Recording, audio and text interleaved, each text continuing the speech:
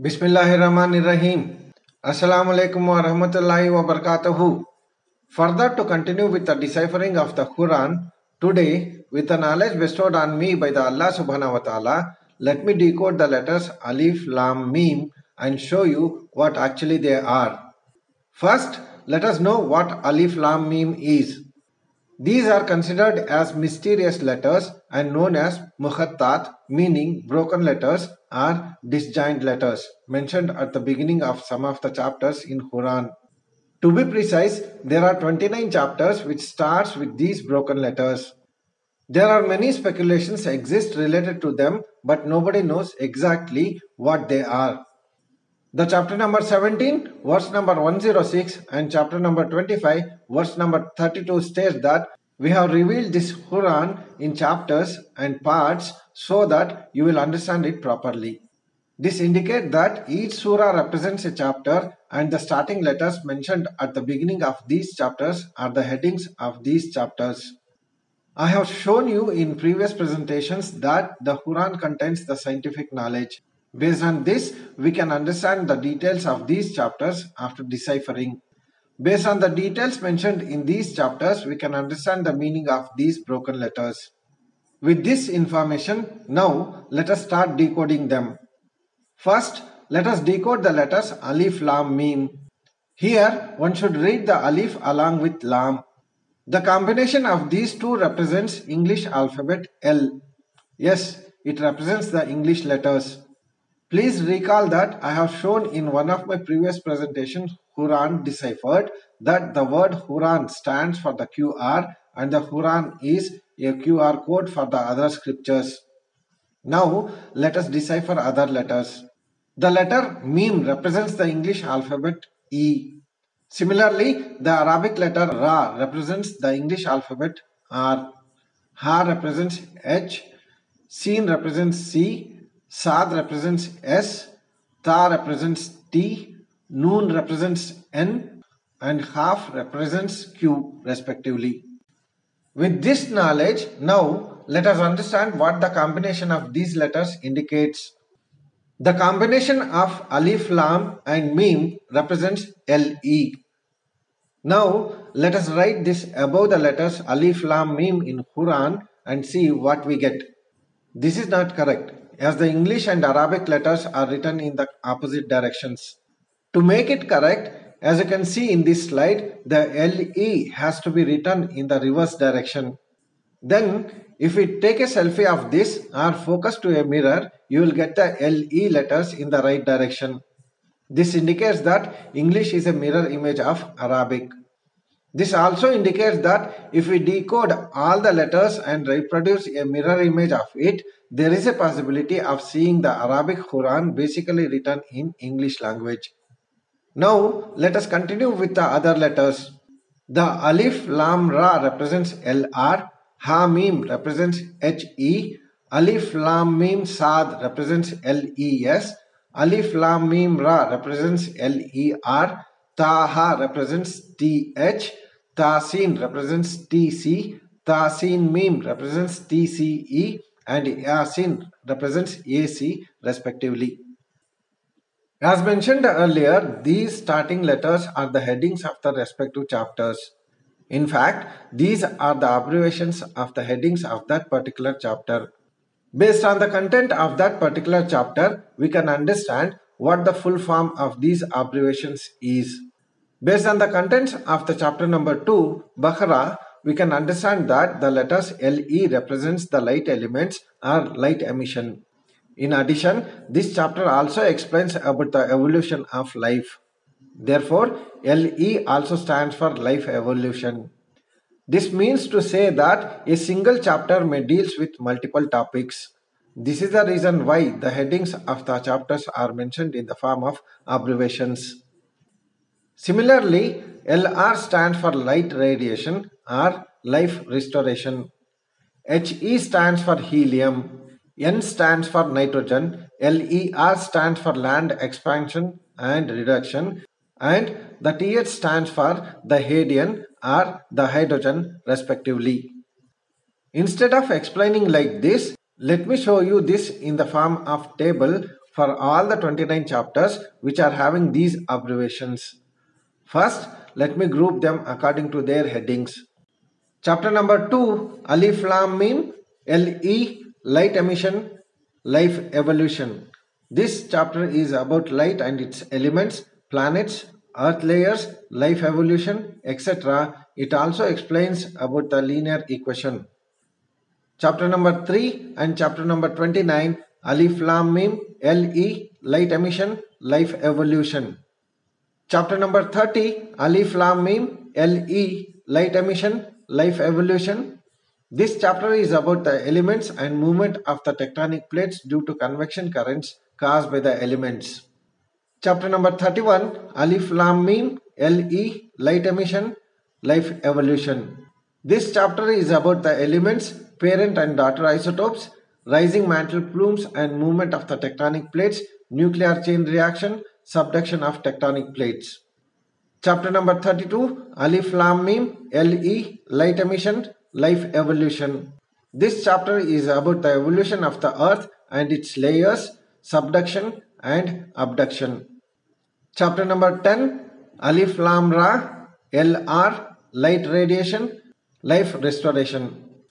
Chapter number 11 Alif Lam Ra LR Light Radiation Life Restoration. This chapter is related to the extinction of life and restoration of new species. Chapter number 12 Alif Lam Ra LR Light Radiation Life Restoration. This chapter is about the Pluto and migration of the family of Jacob from Canaan to Egypt representing the migration of organisms. More details are there in my previous presentation Story of Joseph History of Pluto. Chapter number 14 Alif Lam Ra LR Light Radiation Life Restoration. Chapter number 15 Alif Lam Ra LR Light Radiation Life Restoration. This chapter is about creation of the universe and galaxies. Chapter number 7 Alif Lam Mim Sad LES Life Evolution Extinction Sequence. Chapter number 13 Alif Lam Mim Ra LER Land Expansion and Reduction. Chapter number 40, 41, 43, 44, 45, 46. Hamim HE it's related to helium. Chapter number 42 Hamim Ein Sin Qaf HE ICQ it's related to helium but yet to decipher what is ICQ. Chapter number 20 Taha TH the hydrogen the Hadean also about the thorium. Chapter number 26 Tasin Mim TCE the crustal evolution. Chapter number 28 Tasin Mim TCE the crustal evolution. It's also about the Cretaceous era. Chapter number 27 Tasin TC the Cenozoic the continents the creation. This chapter is about the Cenozoic glaciations separation of Arabia, reassembling of continents in future. Chapter number 38, Sad, S, sulfur. Chapter number 68, Noon, N, nitrogen. Chapter number 50, Qaf, Q, quaternary, Qiyamah or Qayamat. This is about the end days, that is Qiyamah, which will come at the end of quaternary. Chapter number 36, Yasin, AC, Arabian continent afterward creation. Chapter number 19 Kaf Ha Ya Ain Sad K H A I S Haze. The meaning of haze is seeking refuge, humble, beautiful. All these meanings suit this chapter, which is about the story of Mary and Jesus. All this information indicates that there is no correct ordered arrangement exists in the present form of Quran according to the specific topics. Therefore, it is necessary to rearrange or restructure the chapters to get a clear understanding of the events of the formation of the earth and life. The chapter number 25, verse number 32 mentions that Allah has revealed this Quran according to a sequence. Therefore, we have to arrange it according to the sequence from the origin of the earth to the destruction of the earth which replicate the formation of the universe. As mentioned earlier, the chapter number 2 deals with the light emission and the verse number 2 talks about the phi which is related to the magnetic flux and wave functions in physics and in mathematics it represents the golden ratio. The verse number 2 states that this is the book, there is no doubt about it, a guide for those mindful of Allah. If we decipher this and read properly, it translates as Fi is the book, a guidance for the God conscious element. Further, the verse number 2 to 20 is about the dark matter and later verses about the fusion reaction. According to the chapter number 34, verse number 3, the smallest elementary particle is Zar, which we have not yet discovered. All this information and the contents of my previous presentations indicate that the Quran contains the scientific knowledge and each chapter contains the information of various topics. Also, the same words can be applied to understand different phenomena. This is the reason why Allah has challenged to bring a chapter like this as mentioned in the chapter number 10 verse number 38 which states that if you are alleging that this Quran is written by Prophet himself then bring one chapter like this and take anybody's help other than Allah.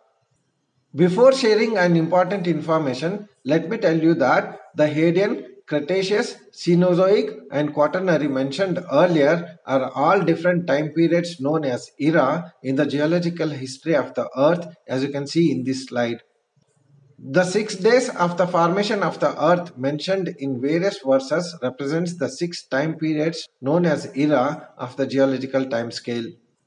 Today, let me correct an error that the people are unknowingly committing. Few people are falsely reading the chapter number 18 Al-Kahf on Fridays thinking that the Prophet Muhammad had told them to read it. In fact, the Prophet Muhammad told people to read the surah number 50 Khaf but people are mistakenly reading the incorrect surah. The surah number 18 Al-Kahf is related to different topics whereas the surah number 50 Khaf explains about the Qiyamah which comes at the end of quaternary. It explains about the events that will take place during the end times.